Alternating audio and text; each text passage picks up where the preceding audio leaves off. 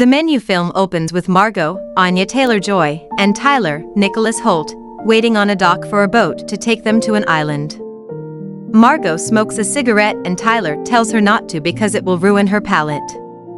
She notes the boat's small and he says they only have 12 guests. They make a profit by charging $1,250 a head. We meet some of the other guests, Lillian Bloom, Janet McTeer, is a food critic who raved about Hawthorne, the restaurant they're headed to when it first opened. She is accompanied by her husband, Ted, Paul Adelstein. Tyler tells Margot that restaurants rise and fall based on her reviews. There are also three tech brothers who are rowdy, all bragging about their expertise on hedge funds and cryptocurrency.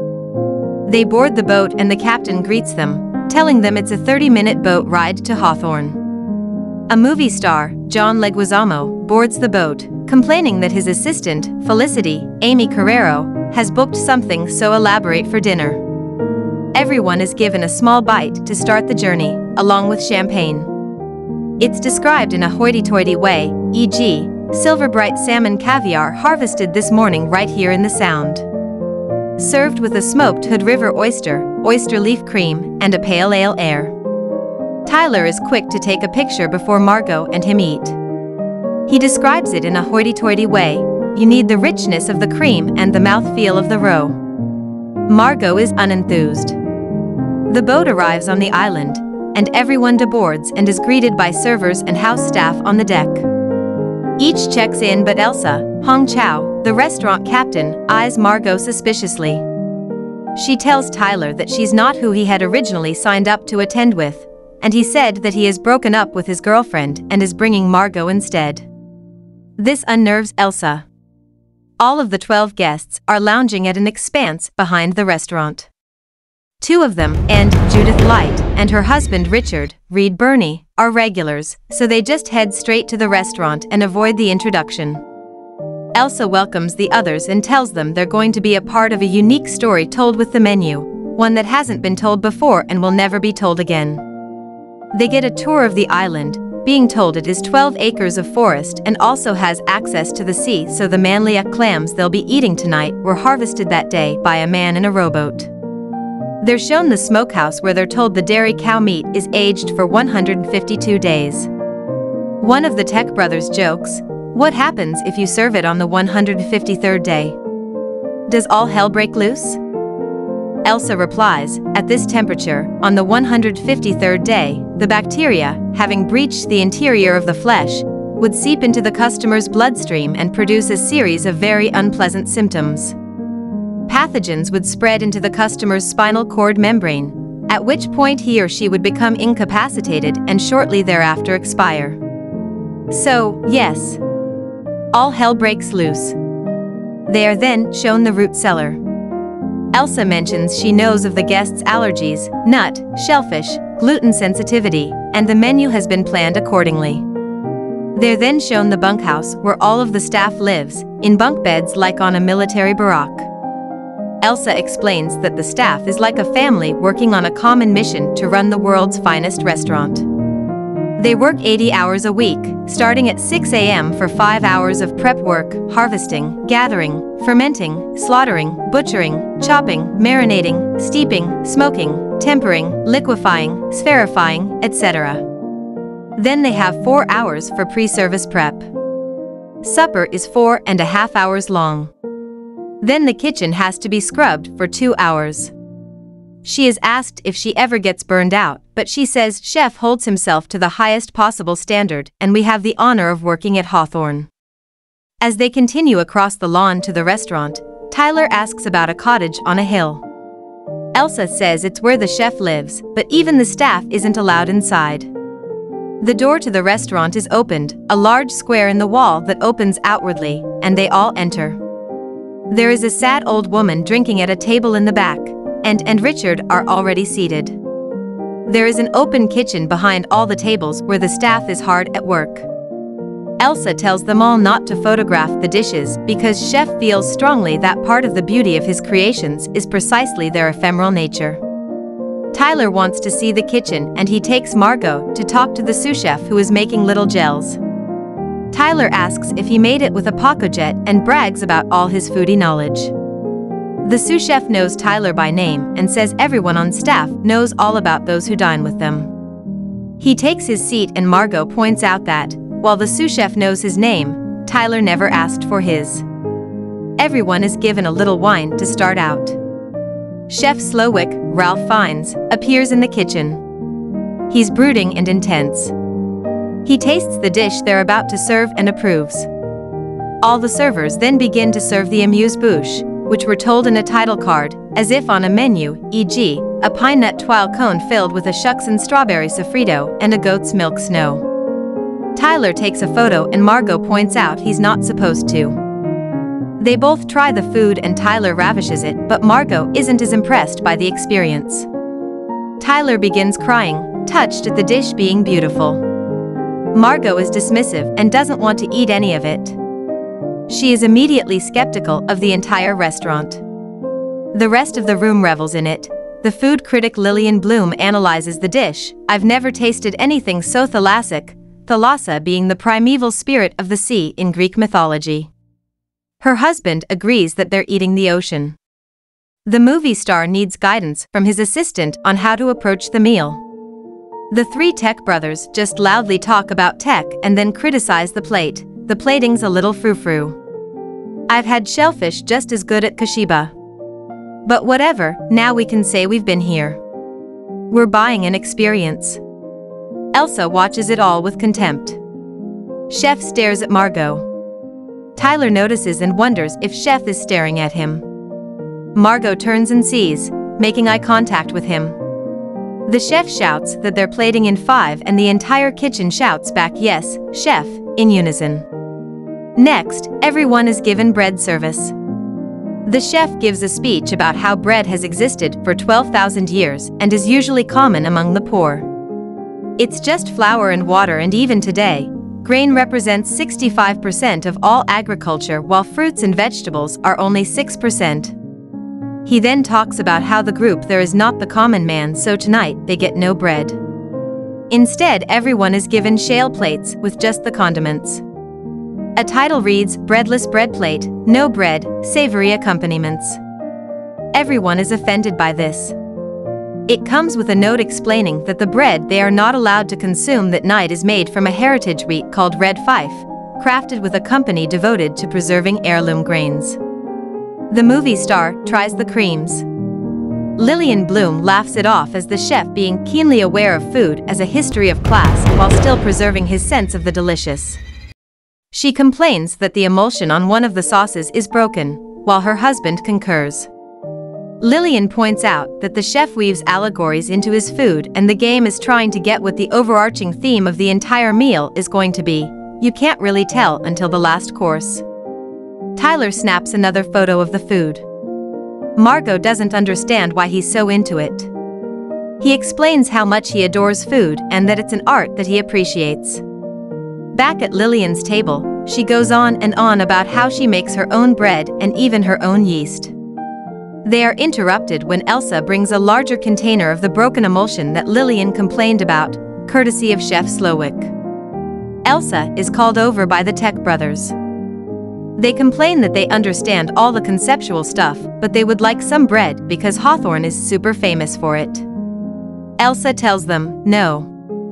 One of the Tech brothers is offended and says you know who we are, right? Elsa says, yes. He reminds her, we work with Doug Verrick. She replies, no, you work for Mr. Verrick. The Tech brothers insist she brings them bread, but she says no and they say wow, offended. Elsa leans in and whispers to one, you will eat less than you desire and more than you deserve. Margot notices Richard who is familiar to her and points out to Richard that Margot looks like their daughter. The chef comes over and asks Margot why she isn't eating. She says, I guess I don't want to fill up early. The chef says that would not be possible. Fori precisely designed the portions to account for that. Please eat. The menu makes sense only if you eat. Margot points out he told them not to eat when he said to, instead, taste. He tells her that's not what he meant and she knows it. Margot tells him, Thank you, but I'll eat what I want to eat, when I want to eat. Given everyone treats the chef with deference, this is shocking, but the chef half smiles and walks away. We see the old woman again, having no food at her table, she simply has a glass of wine. The chef claps and they are told they are going to have the next course, called memory. He tells the group a memory about growing up and points to the old woman, telling them it is his mother. She used to be quite drunk when he came home from school and at seven years old, he arrived and his father was even more drunk. His parents fought and his father wrapped a telephone cord around his mom's neck. To get him to stop, the chef as a child stabbed him in the thigh with kitchen scissors. He never spoke to him again and always wishes he had stabbed him in the throat that evening. The group is then given the first course's memory, chicken thighs al pastor, smoked pineapple salsa, tortillas. They're all given a small chicken thighs with tiny scissors sticking out of them, along with plates fashioned with tightly coiled telephone cords and bowls of tortillas. The tortillas all have images on them. Lillian notices hers have restaurants that were all closed after she gave bad reviews. The Tech brothers seize document that expose them for committing fraud. They call Elsa over and ask what they are. She responds, these are tortillas. Tortillas deliciosas. The tech demand she explain the images and she tells them, these are tortillas which contain tax records and other documents showing how the company has hidden transactions with shell companies, performed various acts of intellectual theft, and created seemingly countless invoices with fake charges. She's asked how they got hem and Elsa says I'm sorry, but chef never reveals his recipes. The tech bro threatens to shut the restaurant down by morning and Elsa tells him, that won't be necessary. Inside the ladies' room, Margot smokes a cigarette on top of a toilet, while looking out a slab. A pair of angel wings are being prepared on the lawn. The chef enters the bathroom and asks Margot what she's doing there. She says it's the ladies' room. He responds, I mean here on this island, you little fool. You're not supposed to be here. Margot was a last-minute replacement and he wants to know if she's one of them or one of us. He leaves, confusing Margot. When she returns to her table, Margot tells Tyler she wants to leave. He points out they can't because they're on an island and the boat is gone. The Tech brothers complain about the tacos being made up of documents that would hold up in court. They discuss having plausible deniability and if they get turned in, they're turning in Verrick, too, and he won't let that happen. For the fourth course, two servers unroll a tarp across the middle of the floor. It's decorated with baskets and covered with sea fennel and edible flowers. Lillian Bloom and her husband marvel that it's like theater, in the Japanese mini Murasudo style. The chef goes to explain the next course and a tech bro demands to know what is going on. Chef gestures to Elsa and she punches the tech bro in the nose. The guests are shocked. This is the first actual violence they've encountered. The chef continues, introducing the staff to his sous chef, Jeremy, who created the next dish, the mess.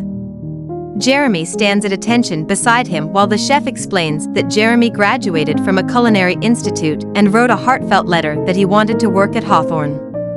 That Jeremy is talented and very good, but he's not great and never will be. He desperate wants my job, my position, my prestige, my status, my talent. Isn't that right, Jeremy? Jeremy responds, yes, chef.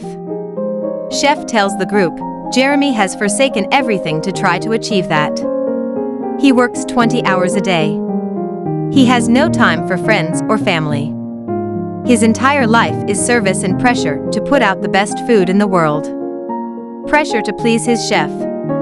Pressure to please the customers. Pressure to please the critics. And even when all goes right, and the food is perfect, and the customers are happy, and the critics are too, there is no way to avoid the mess. The mess you make of your life, of your body, of your health, of your sanity, by giving everything you have to pleasing people you will never know, people whom you increasingly care nothing about. Jeremy, do you like your life, this life you dreamed about? Jeremy responds, No, chef. Chef asks, Do you like my life, the life you envy? Crying, Jeremy says, No, chef. Chef tells the group, ladies and gentlemen, your fourth course. Sous chef Jeremy's mess. Chef takes a step back. Jeremy removes a pistol from his waistband and blows his brains out. A superimposed title reads The Mess, Pressure Cooked Beef, Bone Broth, Heirloom Carrots, and Potatoes. R.I.P. Jeremy Laux, 1988 to 2020. Everyone begins screaming and panicking. Richard gets up to leave and Elsa asks if anything is wrong. Richard tells her he's leaving. Elsa says, there is no boat to leave on. Richard tells her, then I'll call a helicopter. Elsa says, that will be difficult without phone service. Richard tries to push past two servers holding meat cleavers and tells him to do what they say and Richard tells her, I'll handle this. Elsa asks, with which hand will you handle it? Your left or your right? Richard doesn't answer, so she says she will choose and orders the servers to cut off Richard's left ring finger. They do and Elsa tells the room if anyone tries to leave, they will lose an appendage.